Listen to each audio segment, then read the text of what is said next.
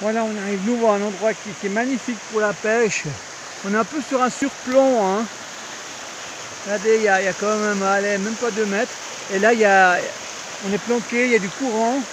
Il y a ici un sort de vase, il, y a un peu, il y a un peu plus de fond.